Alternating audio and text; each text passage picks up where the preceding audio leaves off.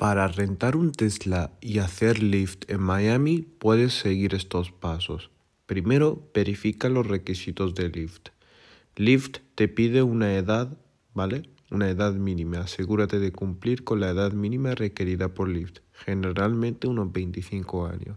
Tendrás que tener la documentación necesaria como una licencia de conducir válida, seguro del auto y pasar una verificación de antecedentes.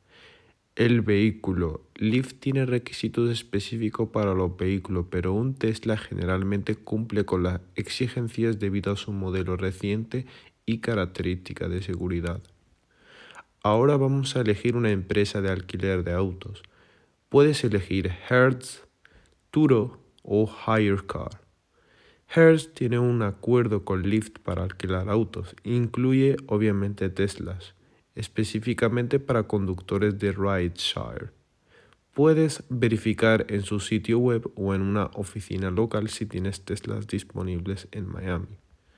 Turo es una plataforma de alquiler de autos entre particulares donde puedes alquilar un Tesla por día, semana o mes. Asegúrate de que el alquiler permite el uso para rides sharing. Luego tenemos HireCar.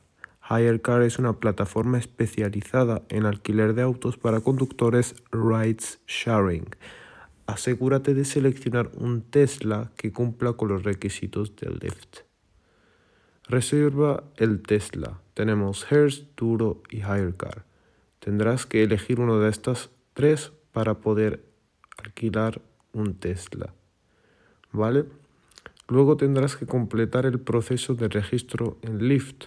Tendrás que agregar el vehículo. Una vez que tengas el Tesla, agrégalo a tu perfil de Lyft proporcionando la documentación del vehículo como registro y el seguro.